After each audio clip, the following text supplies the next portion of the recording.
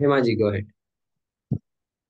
this uh, संस्कृतः Mm. so संस्कृति यस्य अस्ति इति संस्कृतः वा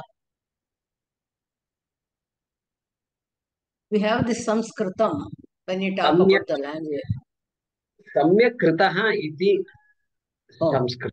Ah, the same Then way we have- as this samyak kritam when you talk about the language sanskritam same thing. Same thing. There it refers to language, here it refers to the person. Same thing. So, samyak kritaha samskritaha. Correct. Samskritihi yes, asti. No. That's a bit roundabout. That's a bit roundabout because now you have to explain what samskritihi is. Samskriti is. In order to understand your Vyutpati, you have to explain samskritihi. So there's thin, stayam, thin and all will come. So there also you have to come back to samyak kritaha iti samskriti. Like that you have to come. So my preference is Could it, could it be because it is Saha Eva, so it is referring to that person, Samskritaha. uh, right. So Hemaji is asking what is the Vyutpatti of Samskrita? And uh, there also Samyak Kritaha. Since it And is Saha, I was thinking since it is Saha, it could be because of that Pullinga, Skritaha only will match. No, Samskriti is Strilinga, right? Yeah, but she converted Strilinga to Pullinga by saying Samskritihi yasya asti. I I can some- made it like a bahuvrihi Right. So As- I hope you got it now, Hemaji. yeah So uh, yeah, so that is both. The, the, the bottom line is what Sanskritam, the language, is also called Sanskritam, and here also the person is also called Samskrita. The way to understand them are different because one refers to language, one refers to a person. Language, it is Sanskritam because the language is so so beautifully defined. All this Vyutpatti and all can do with for every word in Sanskrit, unlike in English. In English, you can do to some words, but not to all words. And there are so many other features because of which we call it Sanskritam. Here, Samskrita, of course, one who is a Viveki, Prapratyaya. who has done Mithyatva Nischayaha, who understands Mithyatvam well, that person is a Samskrita. but uh, that Sanskrit uh, ன்னு அது ஏன் அது நபும்சகலிங்கத்துல இருக்கு நபும்சகலிங்கம் தானே அது சம்ஸ்கிருதம் அப்படின்னா சம்ஸ்கிருத சம்ஸ்கிருத பாஷா it is feminine So, why வை சம்ஸ்கிருதான்னு இல்லாம சம்ஸ்கிருதம்னு We have to ask Panini that question. I don't know. It's called Sanskritam. okay, Harprasadji, go ahead. Um, okay. Not even Panini. No, we can't. We should. Wait, Sanskritam was there even before Panini. So, Panini might have an explanation, but we have to see. That's how it was called, I think. All right. Um, Haraprasadji, go ahead. uh, Mahodaya, you said Pratyagatma equals Atma equals being inside. That is the word you used. Okay. So, what is the meaning of the word Pratyag? Yeah. So Pratyagatma is the word. Pratyag means inside. Atma is Atma. Okay, Pratyag means inside. Atma is Atma. And so Pratyag Atma means what? He explained it before. Pratyag cha asau Atma is Pratyag Atma. Means what? Asau. Asau means this. Yeshaha. This is Atma. And that Atma is also Pratyag, Inside. which is inside. Inside and Atma, and therefore called Pratyeka. That is a literal meaning of the word Pratigat. Okay. The word it, it is composed of two words called Pratyag and Atma, okay. and that is a way to explain. So Pratyagatma is a samasa. Correct, correct. It's a samasa because it has two words, Pratyag and Atma. Correct. Okay. okay. Samasa. It's called karma dharaya samasa. Like that, there is a word. Okay. Okay. Dhanyavadaha Mahodaya. Sure. Anything else? Okay, Veda is also called Thirumarai in Tamil. Oh, it's called Thirumarai, is it? In Tamil? Tirumaraigal. Thirumaraigal. Ah. Thirumaraigal. Just the true meaning is concealed. Oh, Thirumarai. So that Marai re- referring to concealment. I see.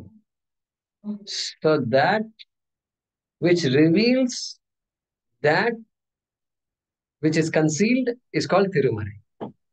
Ah, that which reveals the concealed thing is Veda. Right. Okay. I see. Thirumarai. I need to note this down. I never heard this.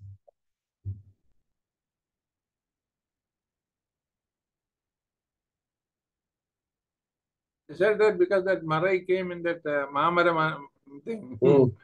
So I just thought I remember that and I put it. Thirumarai. Okay, interesting. Very interesting. I'm going to look into this. Thirumarai. Tirumurai. Tirumurai is different. Different. Tirumurai. All right. Next. I had a question. Yeah. The fourth uh, thing, when you explained about Jivatma, you Hmm. said a jnani, he overcomes this feeling of existence also. How is it possible that Okay, repeat that again. you said something with respect to existence, uh, so it doesn't apply to, it is somewhat okay, but then the third one is more applicable to Jivatma, you said. uh, among Yeah, the yeah. dimensions. Right, right. So for the fourth meaning, which means sarvada asti, always existing, always existent, can be applied to jiva because jiva also continues the journey constantly. But jivatvam comes to an end. With Atma Vidya, jivatvam comes to an end. So from that perspective, jivatvam is not always existent. Fourth meaning does not apply. That's what I said. Okay. I thought the existence was explained with respect to Atma, which is always there. So, which we see because I am there, so everything else also I see the existence. Yeah, so Atma is always there, but as Jiva, is Atma always there is the question. Hmm. Okay. As Parameshwara, Atma is always there. As Paramatma, Atma is always there. But as Jiva, as Jiva is Atma always there. That is the question we ask. Yeah, Is it possible? And once he recognizes the Jivatvam, then I thought only existence is more obvious than anything else. There is I no longer there is no longer an independent an entity called Jiva after Atma Vidya. It's a separation. There is no longer an entity called Jiva. Right now, there is an entity called Jiva, right? A limited entity called Jiva, which has karma associated with it, which has a body associated with it. For some time, it won't have a body associated with it. And again, another body associated. So this continues. That is a Jiva? Correct. So that Jivatma won't be there. After Atma Vidya, after Prarabdha Karma is exhausted, then what happens? Then there's no more Sukshma Shariram, Karana Shariram. Everything is gone. Everything is gone. Jnanagnidagdha karmanam. Tamaho panditam buddha. And existence Therefore- itself is borrowed from Paramatma, right? Jivatma doesn't have exist. It's borrowed from Paramatma, right? Since it is Paramatma's, I thought since it is Paramatma's, if you can call attribute, I thought that will remain. No, Atma remains. We're not saying Atma does not remain. But Jivatvam is gone. Jiva does not Jiva doesn't have. Jiva does not remain. Pot is gone, but clay will remain. Search for pot as much as you want after the pot breaks, but pot will not be available. But clay remains. That's what I'm saying. Jiva is gone. Namarupa is gone. Namarupa is gone. Correct. I mean, again, cognitively, right? Because the parent knows it is an elephant, but then they are more clear about it is sandalwood. So, ji- ji- when the Jiva is alive, Yeah. you said is right. But what about after death? So it is only G. Okay. After I death, thought- what? I thought the association is only when you are alive, right? That's how you take birth. So, what is your final point?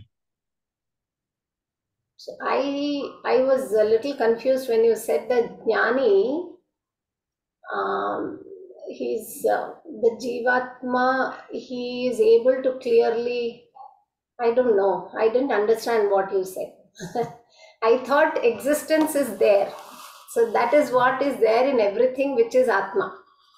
So that Correct. Correct. For correct. That is correct. But as Jiva, existence is not there. Jiva does not exist. That's what I'm Ah, saying. yeah. It's always there. Atma is always there. But there is no entity called Jiva. After after Jnanam. From that perspective,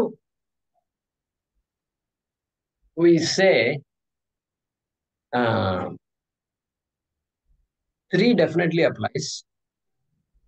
Four, because four can apply to Jiva, because Jiva also existence, always exists. But if somebody were to question you, Jiva does not always exist, then you must be prepared for that answer. You must be prepared to say, yeah, okay, Jivatvam is gone. It, ha- it has no beginning, but it has end.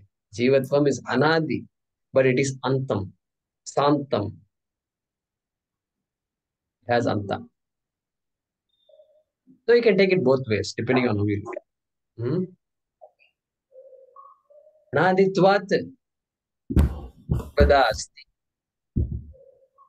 Antatvat, santatvat, sarvada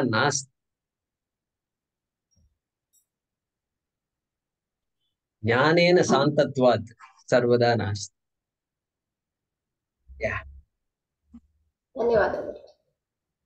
ವೆಂಕಟರಾಮನ್ಜಿ ನಮಸ್ಕಾರ in Tamil there is a proverb ನಾಯ ಕಂಡ ಕಲ್ಲ ಕಾಣೋ ಕಲ್ಲ ಕಂಡ ನಾಯ ಕಾಣೋ that is if you look at the doll made of stone it appears as stone but if you want to see it as a dog it appears as a dog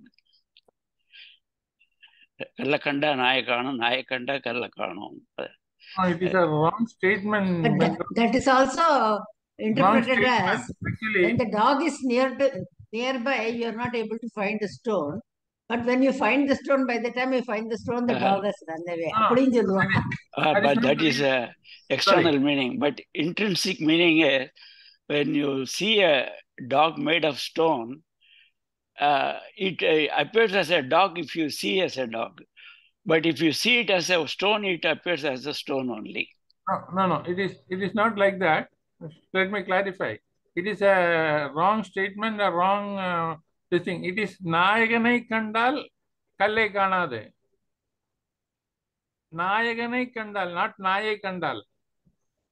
So what is the meaning of that, Ramaji? Nayaganai Nayagan Kanda. means Lord. If you see the Lord, you don't see the stone. Okay? Okay? See the And- Lord, don't see that sto- uh, this thing. That is a why again. it is not Nai. So Okay. it is Marival of the word. No, I prefer that. I prefer that Nayagan because then it makes sense. That is the But real because- It's a wrong usage. They are started by thing. Nayagan, it is Nayaganai Kandal. It Okay. By constant saying, it has become, it has, uh, what do you call, uh, eluded. Very good, very good. So, Venkatramanji, is there a possibility it could have been Nayagan and not Nai? That is the question we have. We have uh, it got uh, converted. Jay Kumar ji, Hey, one Jay minute, one minute, one minute, one minute, one minute, please. Venkatramanji, go ahead. Uh, no, it is uh, uh, normally told Nayakanda Kallakana, Kallakanda Nayakana. Okay, so Uh, I understood. And I heard that. I heard that also. And I used to think, therefore, like what Hemaji said, that you want to, it's such a colloquial thing. I want to do something. I want to chase the dog away. I can't find the stone, but I find the dog, that is how I understood it.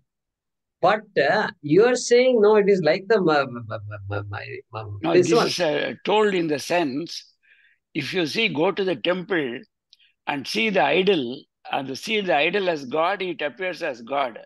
But you want to see it as a, as a stone, you will see only the stone. And in the temple, that is how, in that context, people say, if you say in the uh, temple, you see it as a stone, it is a stone only. But if you So think that- it as a God, it is a God. So then Nayakan applies much better. Nayakan it seems much better to me because you have now said uh, Bhagavan is Nayak. Bhagavan is Nayakan. So I think so. I think this is very good. This is very good. I will ask my father also and see if he has anything interesting. I'll ask. Yeah, I'll ask. correct. It is Nayakan only, not Nai. When you talk Very to other you This is very good. I, I- I'm going to use this on some of our friends here. They talk. Throw this question at them and see what they say. Good. Nice point. I'm going to make a note. Actually, Venkatramanji is saying Naye Kandal Kalle Kanam, Kalle Kandal Naye Kanam is the reference in the contextual meaning is opportunities. When you get one thing, you don't have the other. That. Maybe. And when you have the other, you don't have this one. So in that sense, it is correct. Okay. Okay. Good. Good. Uh, The opportunity missed because of that. Hmm? Yes, yes. In Kannada ಒಂದು ಹೇಳ್ತೆ ಗುರುಜಿ ಹಲ್ಲಿದ್ರೆ ಕಡ್ಲೆ ಇಲ್ಲ ಕಡ್ಲೆ ಇದ್ರೆ ಹಲ್ಲಿಲ್ಲ ಹರಪ್ರಸಾದ್ ಮಹೋದಯ must be knowing. One thing about our Indian thing is, in one language, if something is there, whether right or wrong, the mistake will be copied. Like, it, uh, you know, we are good at copying and pasting. So this mistake also will get copied. ಅಲ್ಲಿನೂ ನಾಯಕನೇ ಹೇಳ್ಬೇಕು அப்படியா க- in Kannada. Kannada. Kannada she, what she's saying is when you have teeth, you don't get grounded. When you get grounded, you don't have teeth. How? All right, Sapna, go Uh, namaste. I am not able to switch on my video. Are you able to hear me today? Yes. Okay. So the fourth uh, meaning of uh, Atma, Atati, uh, there is no um reference here in the Bhashyam, right? I saw the three Yachapnoti, Hmm. Yad, uh, Yadadatte, Yachati, Vishayan Hmm. Iha. So the Atati is not there, right? Right. So the, the, the Ati Dhatu is not mentioned. And so Shankaracharya and this Ah, mantra says san- Santataha Bhava, Okay, okay. permanent existent existence. The nature of permanent existence, Santataha Bhavaha. And. Okay. uh, so we have to search for the root. How, where did you get the Santataha Bhava from? And that comes from Ah. Adhatu. And uh, and we have to look at the Santata, the Vyutpatti of Santata. When you have time, I'll make a note, see where that comes from. Santataha. So, Dhanyavada. that's- you're right. So you're right. Your observation is correct.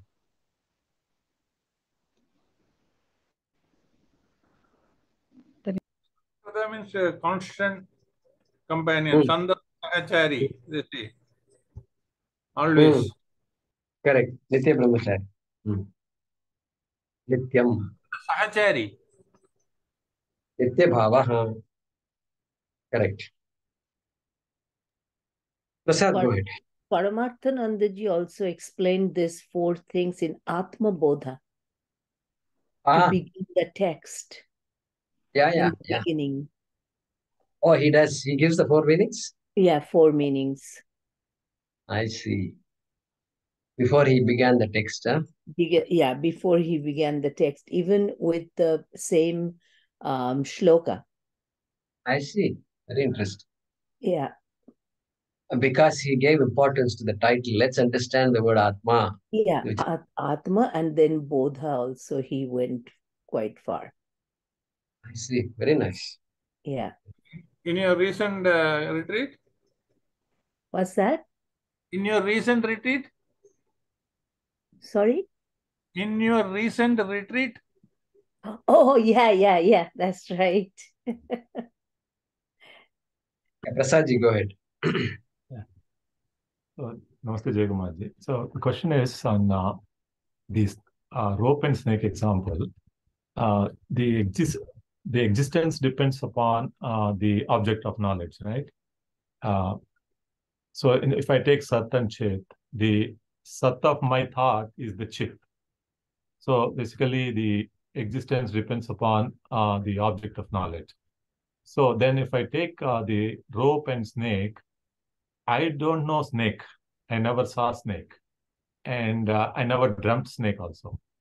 So where is that I see snake now?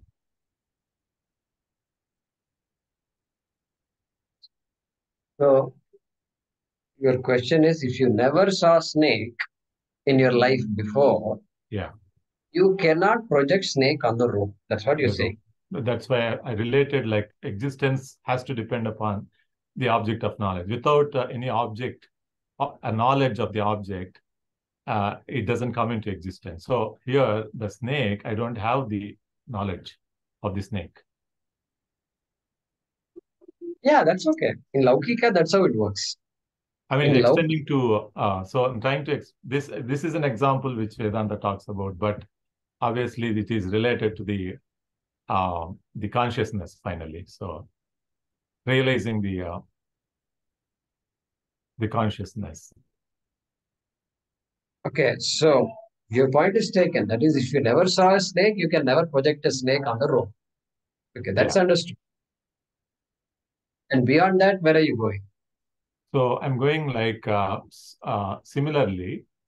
Uh, when I wanted, I mean, realizing uh, consciousness or the ultimate, the reality, absolute reality. Uh, that's where I'm going. So now we're talking about body.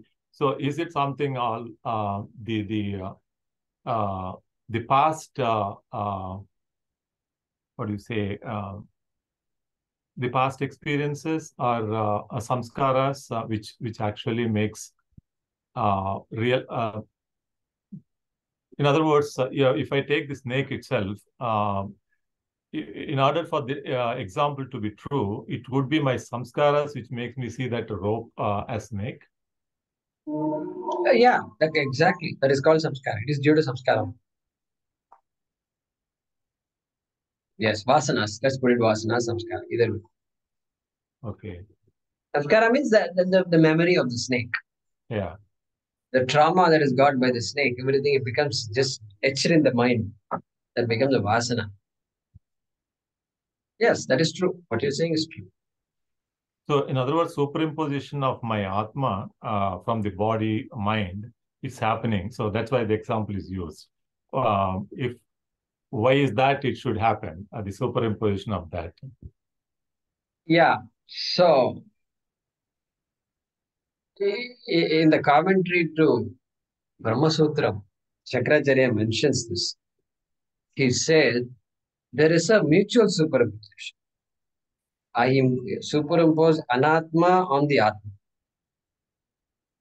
by saying that I am mortal.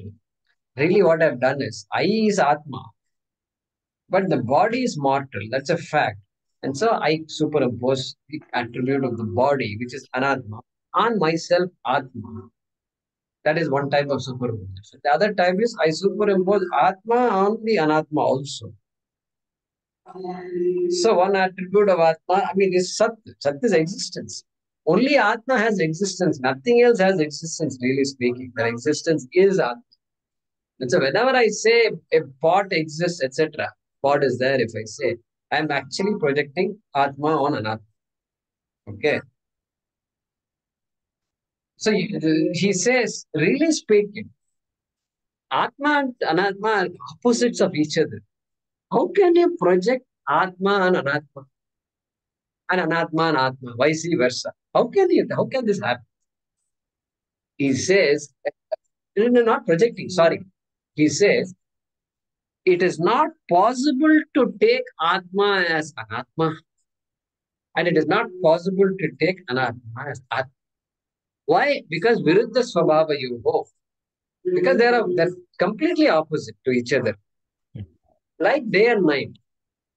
Tamav prakasha, like that he gives an example. Nobody mistakes day as night and night as day.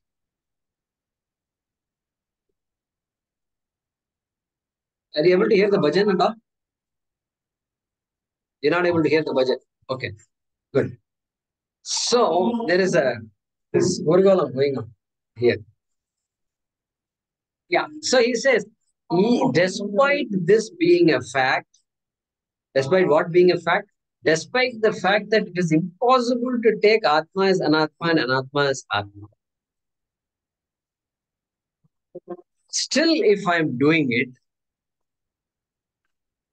it means there is something called adhyasa. He ah. introduces the word adhyasa, saying hmm. projection. Projection is possible. And projection can be the only reason for this. He hmm. says, he introduces adhyasa. Okay? Yeah. Adhyasa, projection. Projection is possible, he says. Because why projection is possible? Because it's possible. We have we have demonstrated it is possible. We we have made the impossible possible. Prasad, we should do we should do like this. Are Bapre. You're you're great. Even what God can't do, you have done like that. We have to tell ourselves. Making impossible possible. Okay. Any other anything Yeah, else? this, the- uh, there's other I have other question. So the um, in the in the three lakshanas of uh, Brahman, uh, Satchitananda, the Ananda is always a little bit uh, uh, hazy. Um, so it actually uh, sort of represents uh, sort of uh, value, meaning, purpose of life, right? I mean, Ananda itself, I don't take it as bliss as such, even though we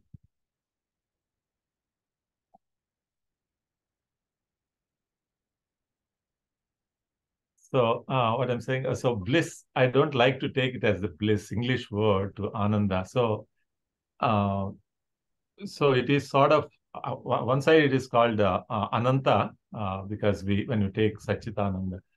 Uh, but I mean, like to understand more of Ananda from the perspective of Brahman rather than the Ananda which happens because of other things like in the in the Vyavaharika uh, world and other things. But uh, I, I understand it as something like value, meaning, purpose. So secular versus sacred. so that is that correct, or uh, the value, meaning, purpose does it represent? Uh, Okay, I didn't follow your last question. What is that? yeah. So I mean, Ananda, uh, uh, the the Lakshana, uh, which in, indirectly it is sort of understanding like it is the value, meaning, purposefulness, uh, which because it results into the Ananda, right? So that's why I'm talking in the in the Vyavaharika world. Uh, uh, it's all about value, meaning, purpose in life. Uh, I mean, a person who doesn't have a purpose in life also has ananda, experiences of happiness. So ananda can be gross ananda or it can be certain things can give ananda. Both are possible. Therefore, there is no need to connect ananda to values. No need to connect. Even though it, its connection is there. But that is not the only way. Even a thief gets ananda. Oh, today I got so much. Never before I got this much. Yeah, that's ananda. so, yeah, that is that's the way I look at it.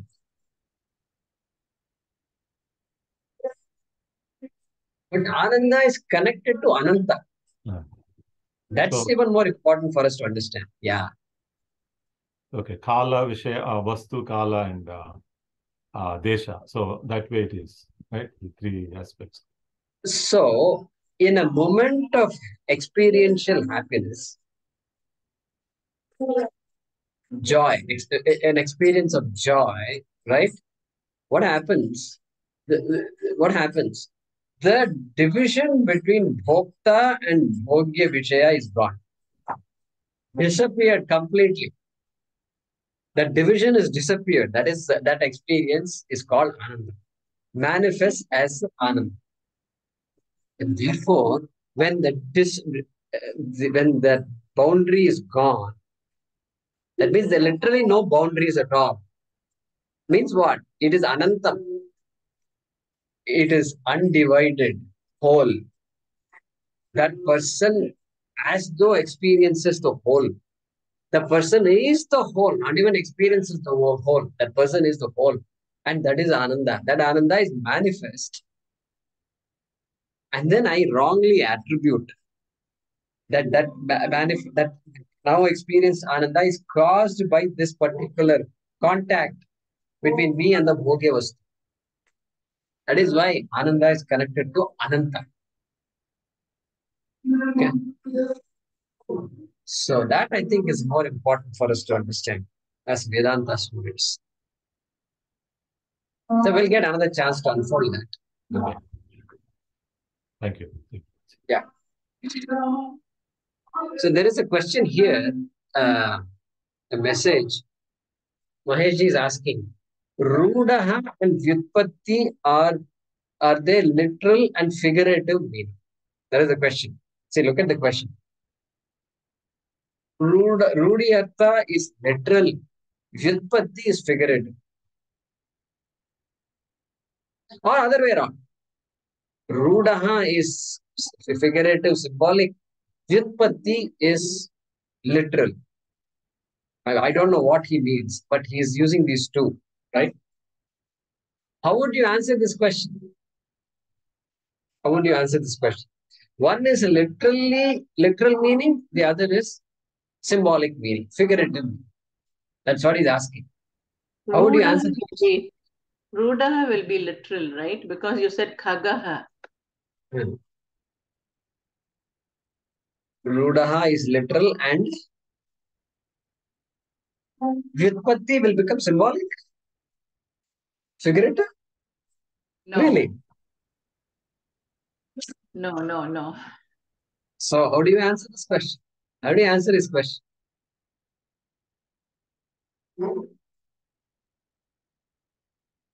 This, uh, the answer to his question is not appropriate also. Means literal and figurative.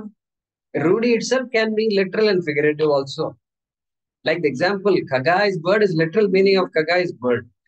Literal means what comes to you immediately. That is called literal. Vachyartha. Sometimes. But figurative here is Lakshyartha is saying. Lakshyartha means, okay, you're saying, did you Xerox it? Did you Xerox it means what? Xerox is the name of a company which, but it manufactured these Xerox photocopy machines. And now, when, oh, you mean photocopy? Yeah, too. So don't take it literally. Don't take the word Xerox mean to the company and, and then go look that way. No, no, don't, don't look that far. Just Xerox means photocopy. Did you copy it or what? That's all he's asking. So that is figurative usage, not literal use. I don't know. So literal and figurative is a bit vague here, right? Vyutpatti is neither of those two. Vyutpatti means என்ன இது முருகன் நடக்கிறத பாடிட்டு இருக்காங்க அஹ்? சரி, நல்லா இருக்கு பார்க்கலாம் So they are going on a because Janmashtami is coming. So they're singing bhajans and then traveling with Krishna, you know, in the Pallak, etc. They're doing that. So Vyutpatti means etymologically. Whatever the etymology, whatever the language tells, what the language tells versus what people say. What the language tells versus what people say. Can we say it like that? Rudi means what people say. Literal versus figurative, I have a problem with. The hmm. sense, Rudi can be literal, it can be figurative also. Lakshyartha. Sometimes Vyutpatti can be the Lakshyartha. Suppose I call the airplane as a khaga. Is that literal or is it figurative? You see what I'm saying? It's it, it's neither lit it's neither it's neither literal nor figurative. I think there is something else that is missing in this list. That's what I feel. Or is it both? Or is it both? It's literal. How can it be both?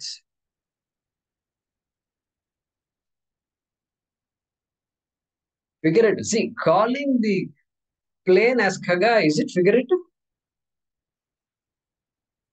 It's not figurative. I'm talking about an object there that's flying, and I'm calling it kaga because the word kaga, if I look at the derivation of the word kaga, it means a flying object. That's it. And An, an, UFO can also be called a khaga. Unidentified flying object, right? UFO. Kaga. Adrishya khaga or something we have to say. Anything that it flies. because we think kaga is only a bird. We, this doesn't look real for us. Whereas in No, doesn't look real means what doesn't look real? Tell me what doesn't look real. no, no, because our mind is uh, uh, stuck with the idea that kaga means bird. Because the more Okay. uh, Okay. so when somebody says an airplane is a kaga, we refuse to accept it. So you're saying that can be called figurative. That is not in Rudi, maybe. That is Vyutpatti. It is Arudi, all right, understood. But is it Vyutpatti or not? That is the question. Yeah, It, it the, the bi- It is difference Vyutpatti between also, but it is it figurative? That is, I'm trying to map the English word figurative to Vyutpatti. it doesn't Is- it, it will not match It won't match, I think. because I just checked the dictionary and it says figuratively and literal it's it depends on what is the context Okay. because otherwise you know it can go in both ways distinction within some fields of language analysis in particular rhe- uh, rhetoric and semantics Okay. I think it really doesn't mean the Vyutpatti and um, Rudi. Yeah. So in a way, uh, Mahesh, Mahesh not here. I think he's he's not there. But um, his question is good. It makes us think. The you know English to Sanskrit mappings, right? It's making us think.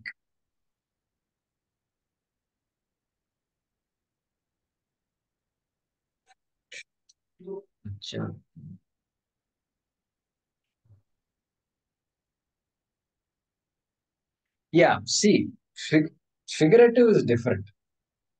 Lakshyartha. Just now we saw. We saw. See, look at this. What did we see? Um,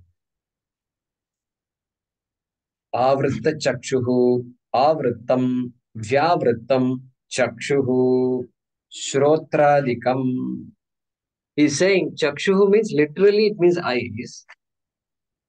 But don't stop with that. You have to just go beyond eyes and then shrotraadikam.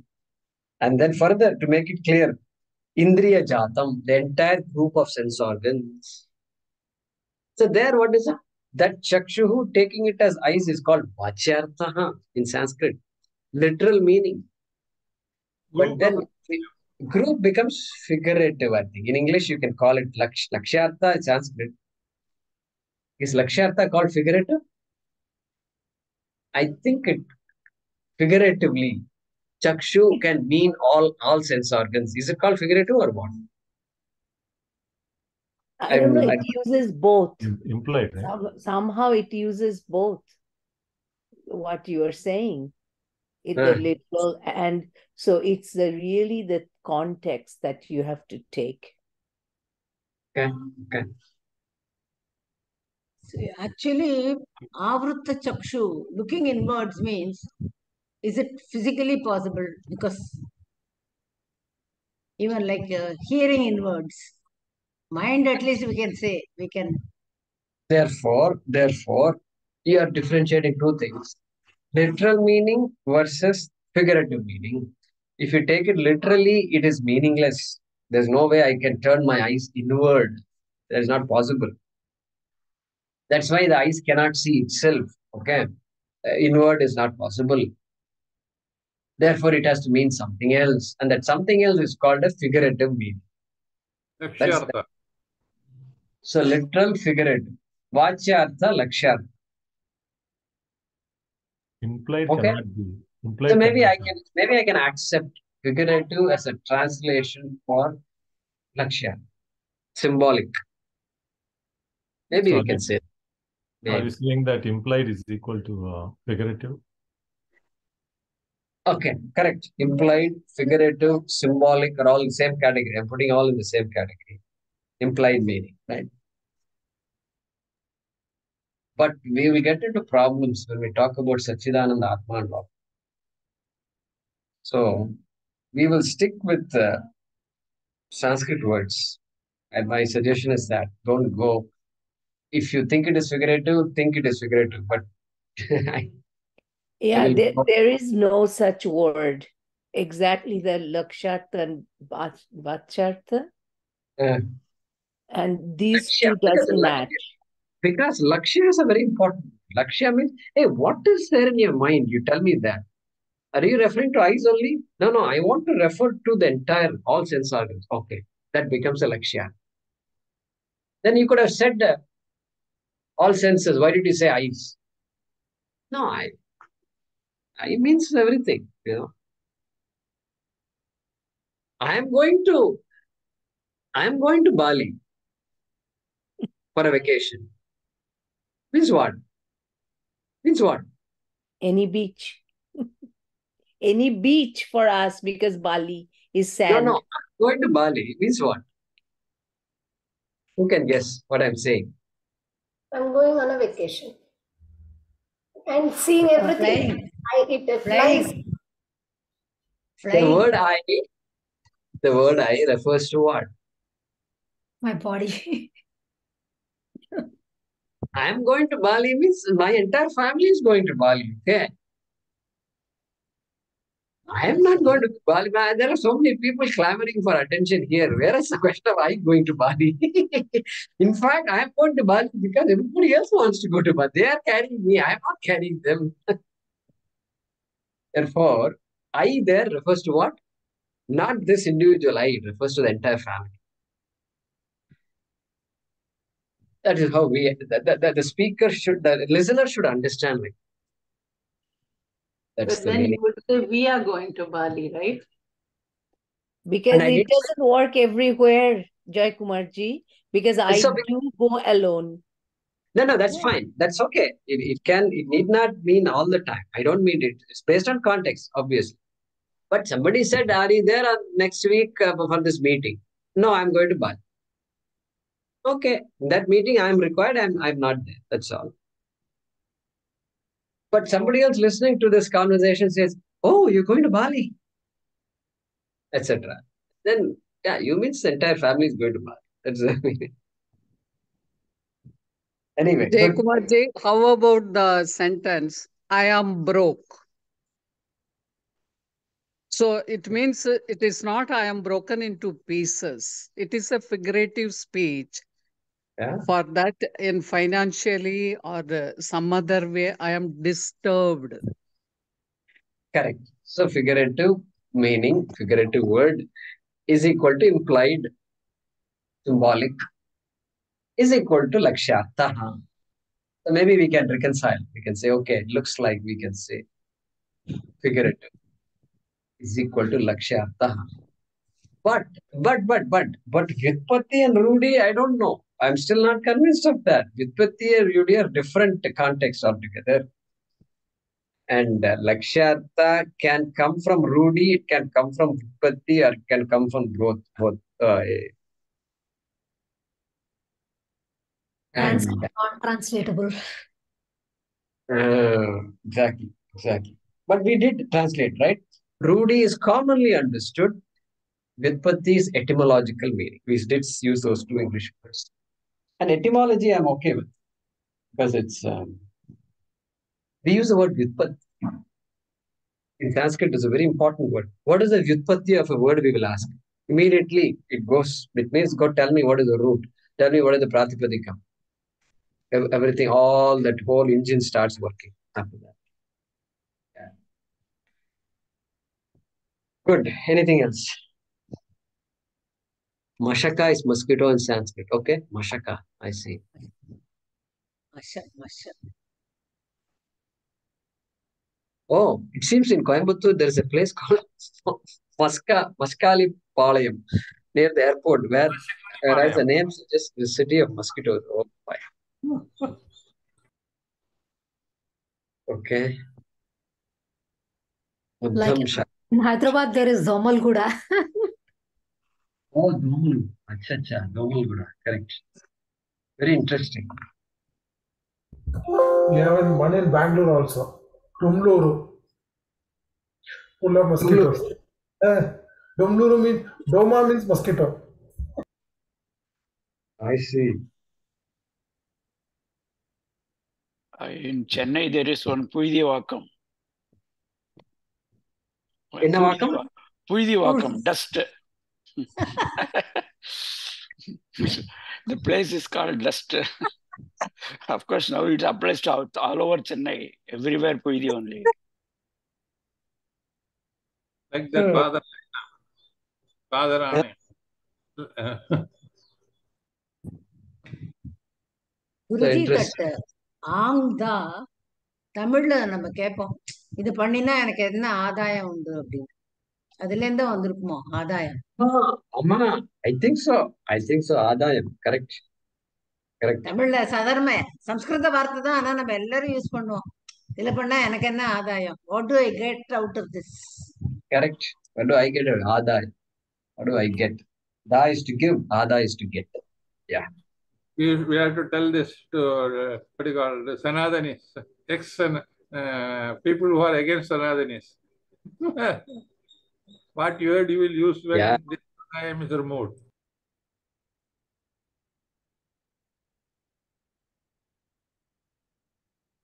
Very good. Anything else? Any other comments here? Two new messages. Questioner for the cyclostyling. What is that? There was a, there was a machine called Gestetner, was cyclostyling machine, previously before Xerox. Okay yeah, yeah, I remember that. they used to rotate it with the handle Right, right. So it's called what machine? Gessner machine, is it? Gestetner. Gestetner was the only people person who was ma- making it. Oh, I... big offices. We have to type in a special wax uh, paper. Correct, correct. When you want more copies, we have to type it in special wax paper. Yeah, cyclostatic. I know. Actually, it is Gestetner. Gestetner. T. Uh, Correct. I agree. Okay. Gestetner. Okay. Okay. Interesting. Anything else? Okay. Good. So tomorrow we will uh, meet for Janmashtami. ॐ नमो भगवते वासुदेवाय, धन्वन्तरये, अमृतकलशहस्ताय सर्वामयविनाशनाय त्रैलोक्यनाथाय, श्रीमहाविष्णवे नमः Thank you.